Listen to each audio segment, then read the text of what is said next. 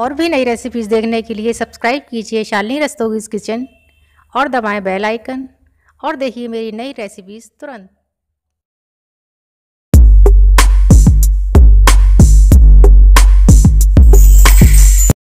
Hello friends स्वागत है आपका मेरे किचन गार्डन में।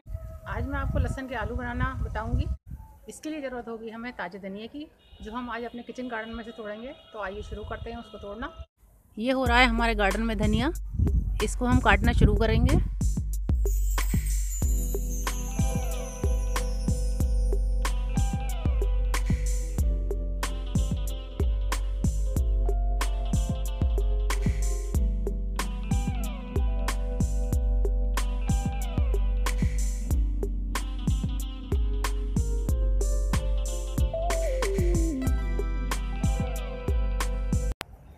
अब चलते हैं अपने किचन की ओर, जहाँ पर इसको बनाएँगे हम। इसके लिए हमें सबसे पहले लेंगे दो बड़ी प्याज, इसको मैंने स्लाइस में कट कर लिया है। दो लहसन की गांठें, इसको भी मैंने छील लिया है। 300 ग्राम आलू, जिसको कि मैंने कट कर लिया है चकोर टुकड़ों में। तीन से चार हरी मिर्च के टुकड़े, आधा चम्मच हल्दी का पाउडर, नमक अपने टेस्ट के अनुसार, एक चौथाई चम्मच लाल मिर्च का पाउडर, एक बड़ा टुकड़ा अदरक का, जिसको कि मैंने लंबाई में कट कर लिया है। जैसा कि आप देख रहे हैं कि मैंने बहुत ज़्यादा धनिया काटा है, बहुत सारा धनिया मेरे पास है। अब आप देख रहे हैं कि इसमें जो भी तिनके होंगे या कूड़ा होगा, उसको हम साफ़ कर लेंगे और इसको एक गहरे पानी में धोने के बाद इसको हम कट कर लेंगे। थोड़ा मोटा मोटा काटेंगे। इस तरीके से इसको काटना शुरू करेंगे। बहुत ज़्यादा बारीक काटने की इसको ज़रूरत नहीं है हमें।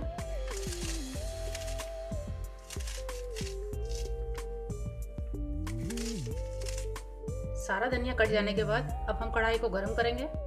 अब कढ़ाई को गर्म करने के बाद डालेंगे उसमें दो बड़े चम्मच सरसों के तेल के और तेल को गर्म होने देंगे। इसके बाद इसमें डालेंगे लहसुन की कलियाँ और इसको थोड़ा सा भून लेंगे। इसके बाद इसमें डालेंगे अदरक के टुकड़े।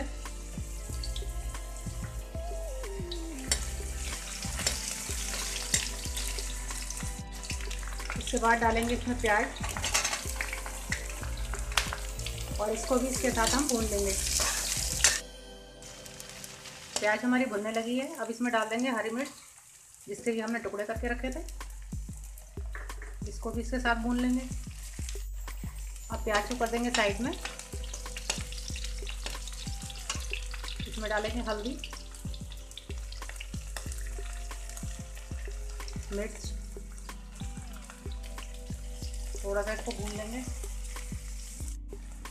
और डालेंगे थोड़ा सा पानी।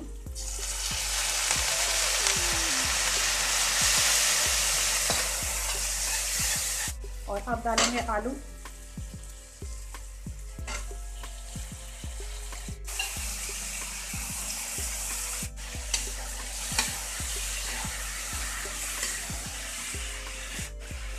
और डालेंगे नमक।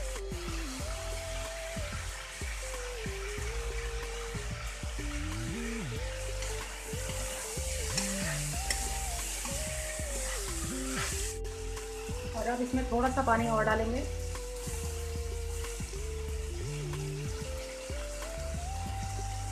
गैस को कर देंगे हल्का, और इसको अब गलने के लिए हम रख देंगे।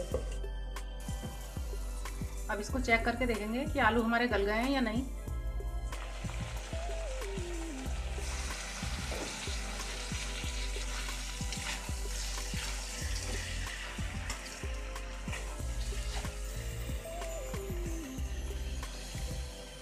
आलू गल चुके हैं।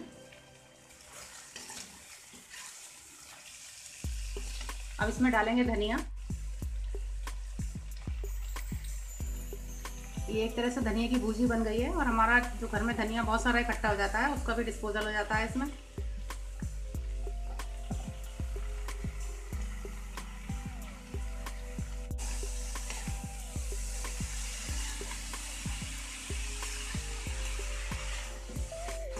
अब इस धनिया डालने के बाद अब इसको हम भूनना शुरू करेंगे। लगातार इसको चलाते रहेंगे इस तरीके से।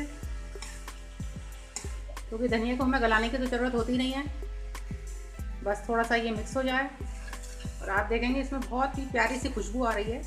धनिया की, लहसुन की। और इसको बनाना भी कितना आसान है।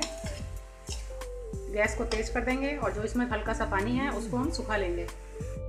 इस तरह से पानी सुखाने के बाद हमारे लहसुन, धनिया के आलू तैयार हैं। गैस को कर देंगे बस अब ये सर्व करने के लिए तैयार है।